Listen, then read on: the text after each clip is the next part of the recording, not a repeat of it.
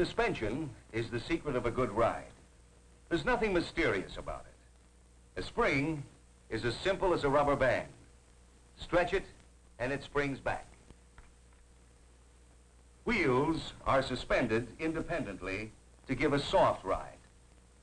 Coil or leaf springs are usually used on cars, and they do a good job of suspending any one wheel. That's where the catch comes. The frame rides on the spring. When a wheel moves up over a bump or down into a hole, the frame moves with it.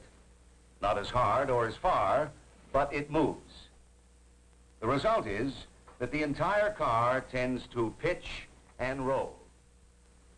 To reduce pitching, the front and rear springs on each side would have to be connected. Leaf springs connected them in early days. But this isn't practical for motor cars. Neither could a coil spring do the job. But here's another type of spring, the torsion bar spring. This special steel bar is elastic and works just like a piece of rubber hose. Turn it, then release it, and it returns to its original position. Up to now, torsion bar springs have been used only on certain foreign cars, and even then, only on individual wheels to replace conventional coil or leaf springs. About seven years ago, Packard engineers began to dream. They knew that conventional springs gave reasonably smooth action to individual wheels, but let the cars seesaw over rough ground. This is what they wanted to stop.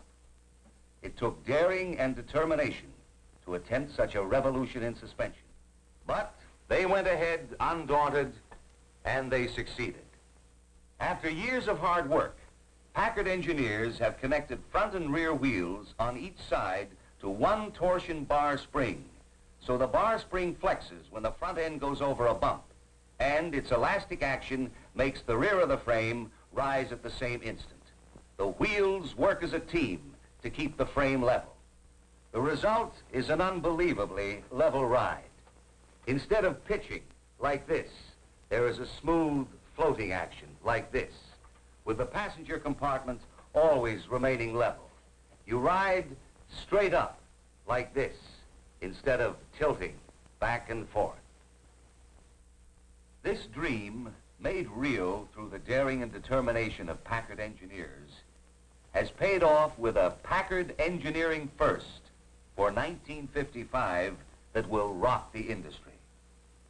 To see the difference between conventional suspension and the new Packard torsion level suspension, let's watch a car with conventional suspension travel over a stretch of rough road.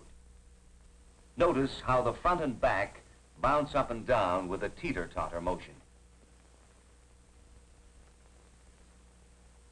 Now watch the car with conventional suspension, followed by the new Packard with torsion level suspension. You can see the striking results for yourself.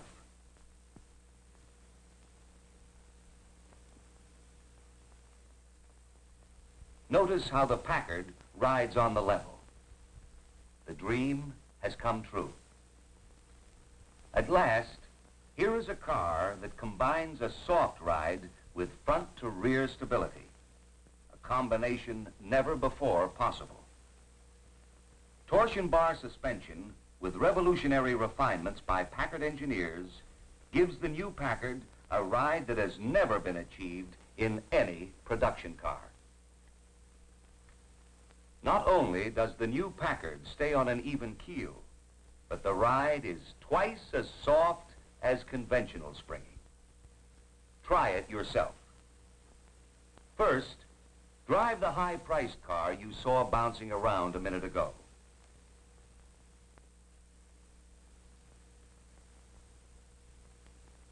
As you travel over the test road, notice how violently the rideometer and the horizon jump around.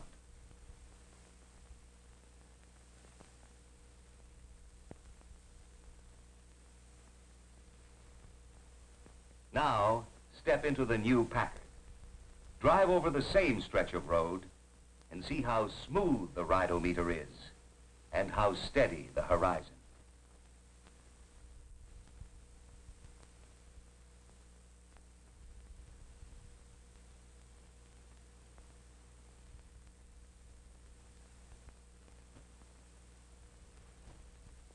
Compare the two and let the ride decide.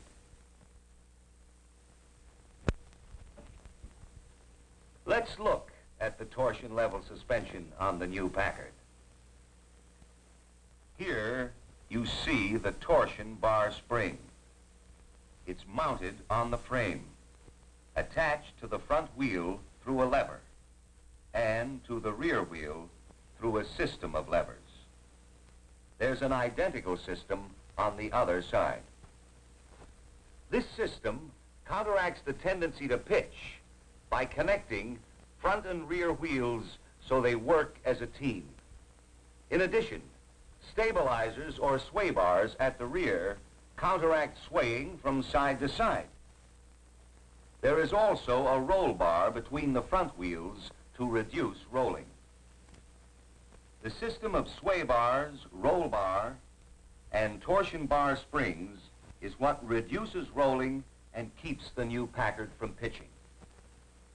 This torsion level suspension by itself gives the new Packard a fantastically level ride that beats riding on air.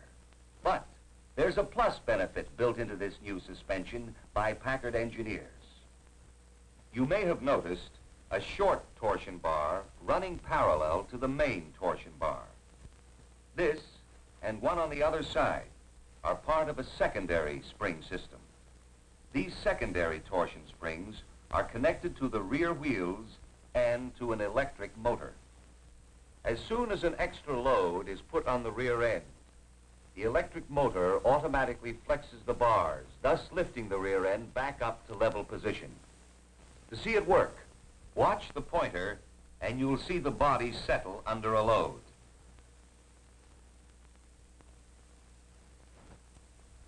There's a slight time lapse. While the motor makes up its mind this is a steady load, not just a bump, then the motor kicks in and raises the rear end to level position. In effect, the new Packard has educated springs, which automatically adjust themselves to meet load conditions and keep the body level. Springs that give a soft ride, yet smooth out pitching and let the new Packard glide along on an evener keel than any production car ever built. And if anyone is wondering if torsion bar springs are strong, just remember that they are used on some tanks. In fact, the new Packard torsion level suspension increases the life of the entire car because road distortions are absorbed by the springs instead of the frame. This is the kind of car you'll be selling in 55. The car with the torsion level ride. A new system of unitized torsion suspension that levels the load and smooths the road. This is your product. The car of the future with a suspension that will rock the industry.